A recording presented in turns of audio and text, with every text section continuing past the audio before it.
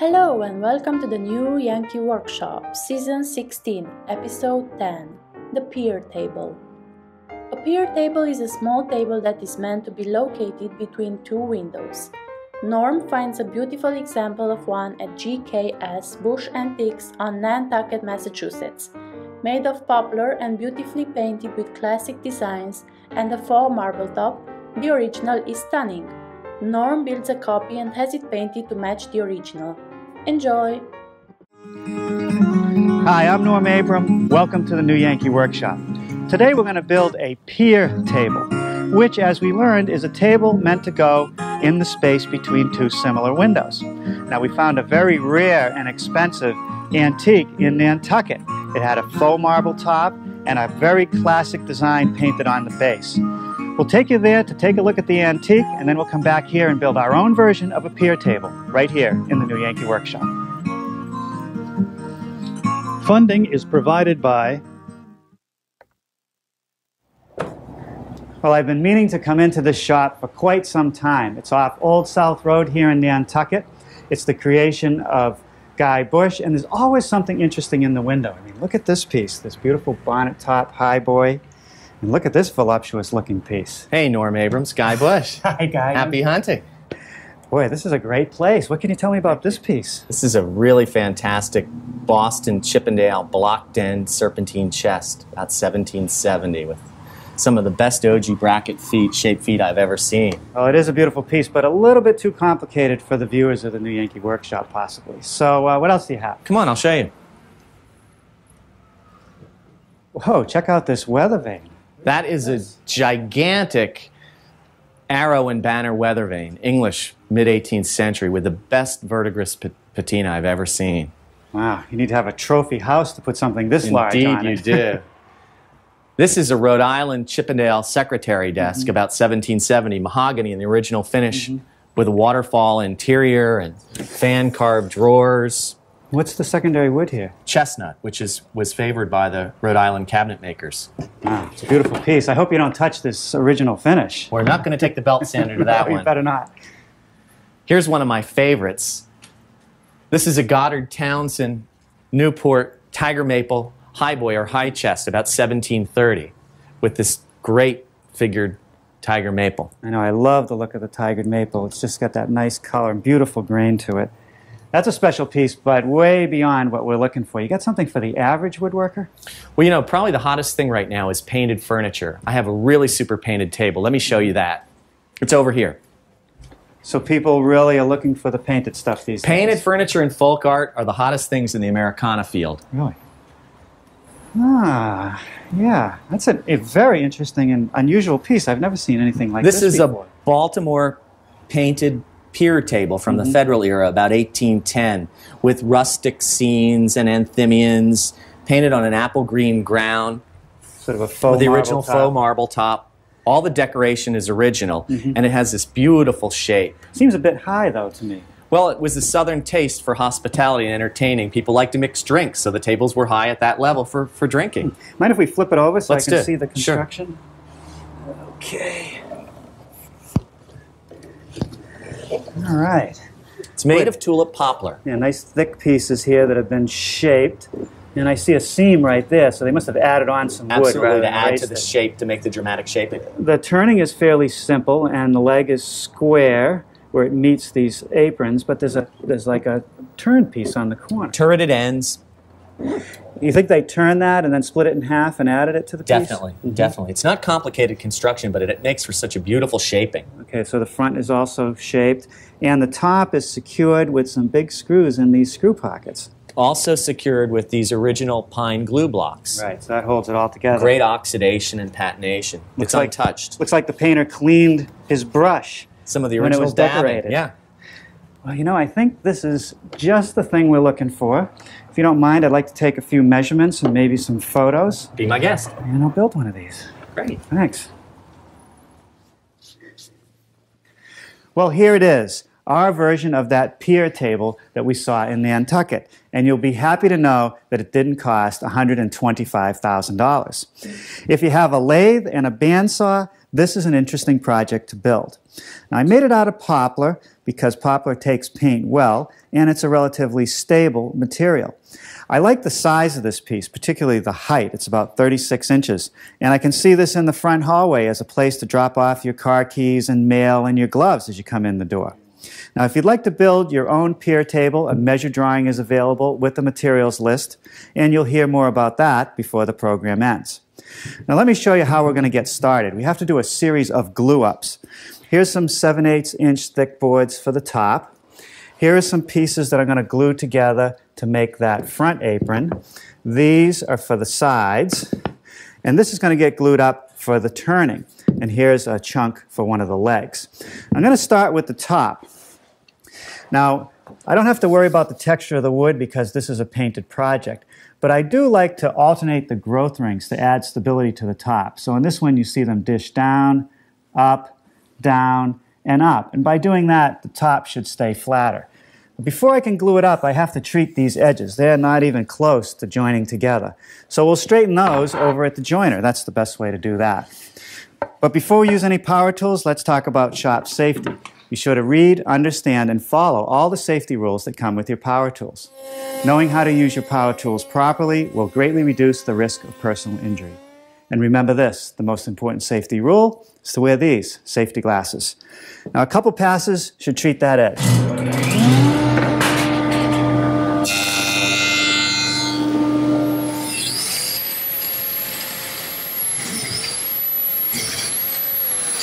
Now those slots are for some number 20 biscuits to reinforce the joints. Let's glue it up.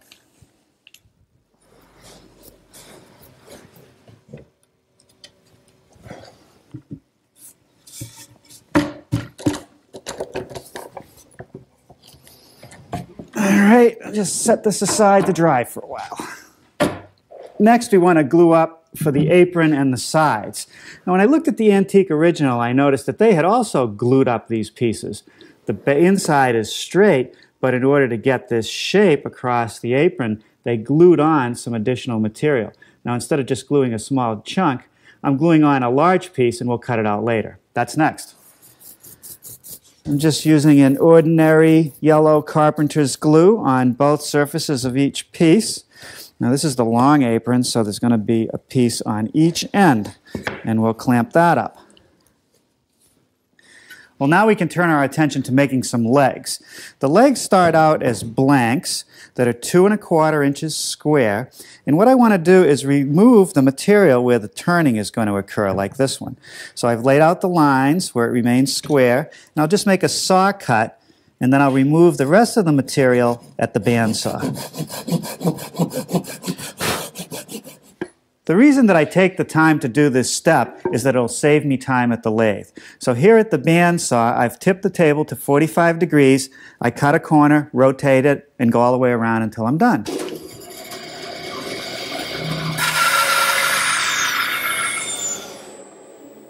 With the legs centered in the lathe, I'm ready to get started.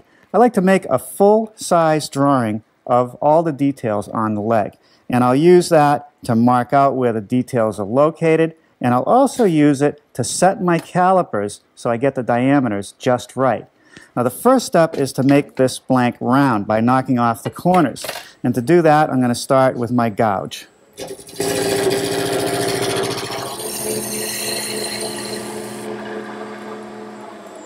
Now I can't use my gouge to get right up to the transition between the square and the round. For that, I'm going to switch to a skew chisel, make a nice crisp cut right at this edge, and then use my scraper to do the first inch or so. Now it's time for some marks at the various intersections. I'm going to put a mark right here and smooth this area. And then down here I'm going to put a mark on each side of this flat area and smooth that to the right diameter.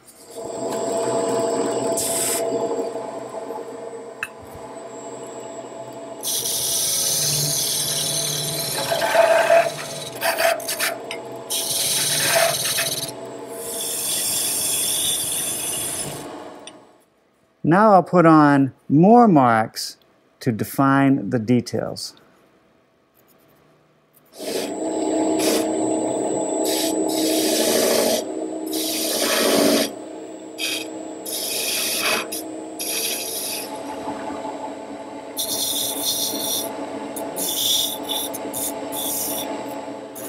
All right, now I want to set this diameter right here, about a half an inch away from that line.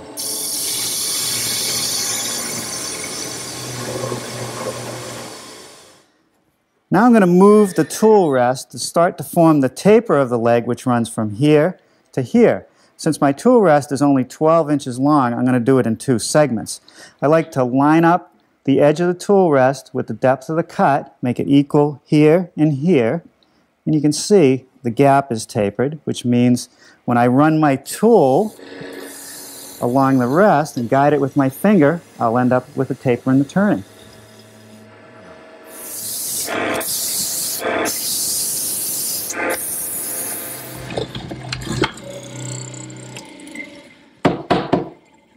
Now the sides of the table and that front apron as well as the back rail are connected to the legs with a mortise and tenon joint. We like to make the mortises first and then fit the tenon to the mortise. My stationary mortiser is the best way to do this. With the legs mortised, I thought I'd set up all the pieces for the base. Here's the front apron. It's out of the clamps and dry, as well as the two side pieces. I've added this piece of 3 quarter inch poplar, which is going to be the back rail. The next step is to size these for width and length.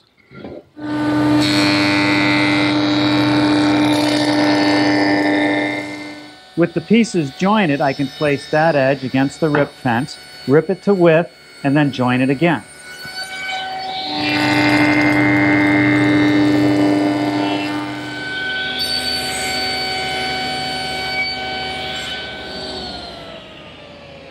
Now here I'm doing step one of forming a tenon on the end of one of these side pieces, which is to nibble away about 3 eighths of an inch by an inch on each edge.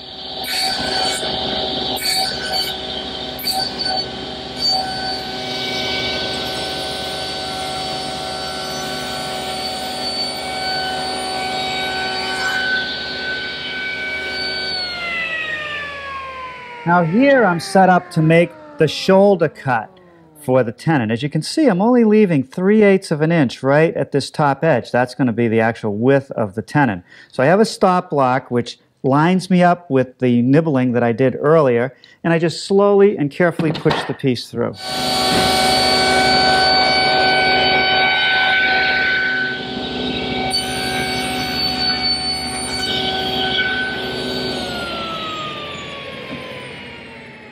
Now, using my tenoning jig, which safely piece, holds the piece upright, I can make the cheek cut, and that completes the tenon.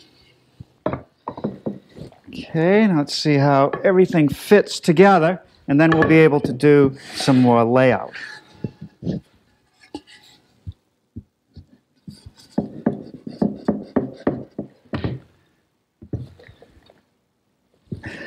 Okay.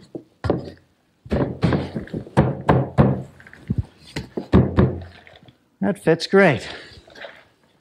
Now I want to make some marks where the end of the apron meets the leg post, as well as here.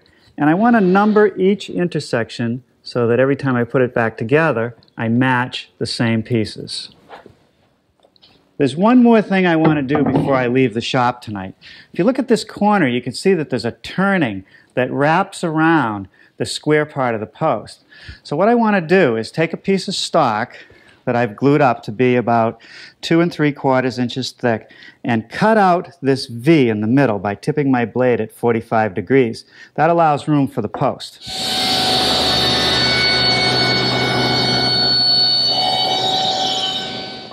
Now let's cut it in half.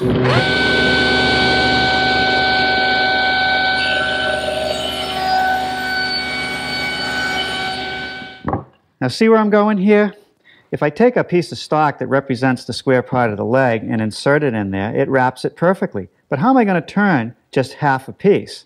Now if I were to glue the two pieces together like this and insert this in the lathe, I could turn, I could make the turning, but how do I get it apart? And here's the tip. If I apply glue to the wood on each side where it's going to join together, and then stick a piece of paper in between.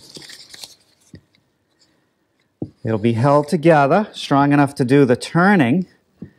Yet when the turning is complete, I'll be able to separate the two pieces because the paper will act like a release. Well, we'll let this cook overnight and it'll be ready for turning tomorrow. And we'll also easily finish our project. Good morning. We should easily finish our pier table today. I've got the prototype here because I want to show you how the base connects to the top. I'm using a technique that's been used for centuries, a pocket and a screw, in this case, a pocket screw. Now, in the antique, it was carved out with a chisel, but we're going to use a jig, this pocket hole jig. I set it on the location and just clamp it in place. Now to drill the hole in the pocket, I'm using this step drill. It has a 3 8 inch portion here and about an eighth inch portion here. The large portion will make the pocket. The tip will make the through hole for the screw. Just slide it in the jig and drill it. I found that it's much easier to do this work before the sides are shaped on the bandsaw. That's all there is to it. Well, now it's time to lay out the shape of the apron and the sides. I have this quarter inch plywood template that I trace, aligning it with the back edge. I just flip it over and I do the other side. I made a similar template to take care of the side pieces. Now you'll notice that some of these lines are straight and some of them are curved. I want to cut the straight lines at the table saw because I'll get a more crisp cut. Going to make the 45 degree angle cuts on the ends first. So I've tipped the saw blade 45 degrees. I'm going to use my miter gauge to guide it through. Now we're going to switch to the other angle, which is 22 and a half degrees.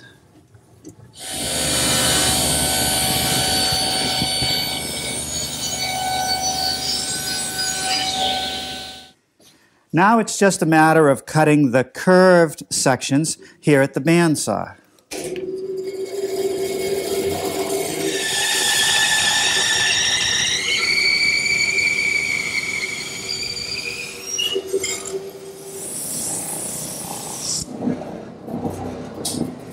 Now it's time to start dressing those cuts that I just made. I like to start by using my oscillating spindle sander, and I like to start with the largest drum for the radius that I'm working with. And since this radius is fairly flat, I'm using a four inch drum. But if you notice where the step is, I can only come in to there. I don't want to nick this corner. So this part I'll have to do with a smaller drum, and even at that, there'll be some handwork later on.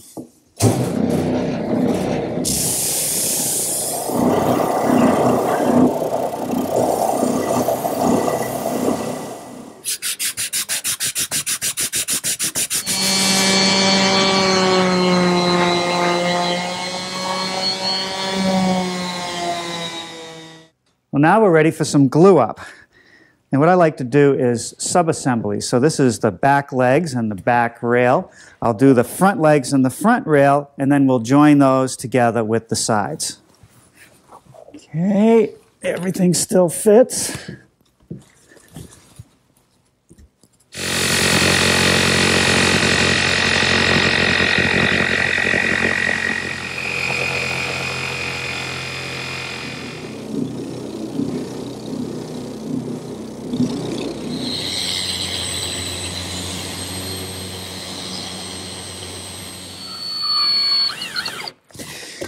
Now I've situated the base on the top and I'm attaching it with these pocket screws. And they're a little bit different than a regular screw. They have a self-tapping tip, and instead of having a wedge under the head, it's actually flat, which allows the screw to suck the pieces together better. And this one happens to be a square drive. I use coarse thread on softwoods, fine thread on hardwoods.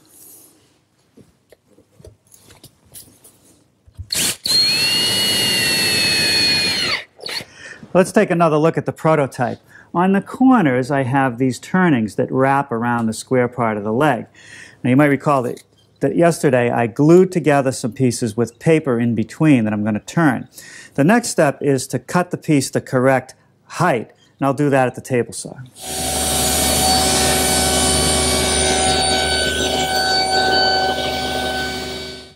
I'm going to stick this block of wood, which is equal to one of the corners of the leg, through, and it has a center mark.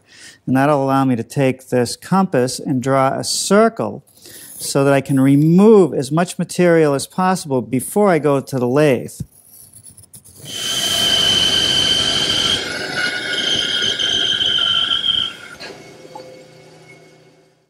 Now I've mounted the whole assembly in the lathe. But to prevent the blank from sliding, I'm going to drive in a couple screws.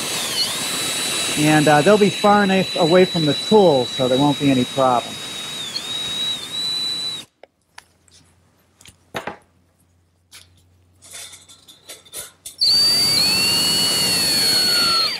Now let's check it for balance. It's not too bad. Now with my gouge, I'll round it over.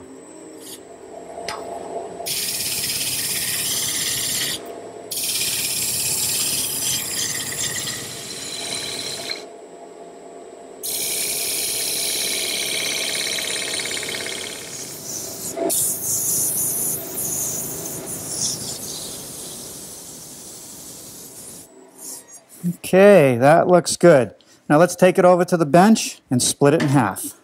Now I'm just taking a chisel, getting it right on that joint where the paper is. See if I can split this in half. It goes. Now it's amazing that the glue on each side of that piece of paper will hold it together while I turn it, yet I can easily pull it apart to get two halves. Well, now with the paper scraped off of the joint, I can apply a bit of glue drop it on over the corner of the leg, and secure it with a couple brads. All right. Well, I think this project is ready for the finishing room.